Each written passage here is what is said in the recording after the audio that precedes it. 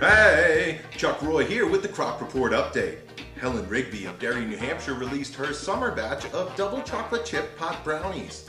To get double zonked, search for Helen's Really Baked Goods on eBay.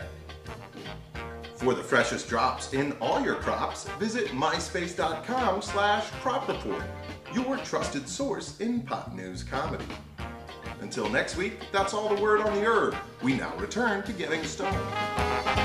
The Crop Report is brought to you by your logo here.